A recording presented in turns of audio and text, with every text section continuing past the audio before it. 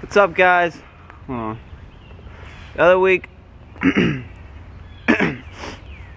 What's up, guys? So I've been trying to get uh, a video out a week because apparently the YouTube algorithm likes that.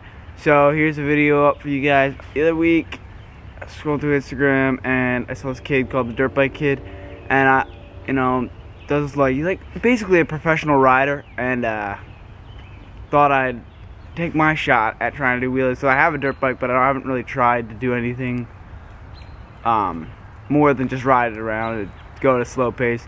I should have ha had a helmet on. I I really should have had a helmet on, but uh, uh, you, you know, I, I'm pretty safe with it. So, I mean, just don't report me. I am 16. The legal limit, like not the legal limit, the minimum age to ride a dirt bike is 16. So don't report me like the last video, you guys. Oh my gosh. All you guys, you think you can report a man for just trying to make some videos. Uh, it's no good.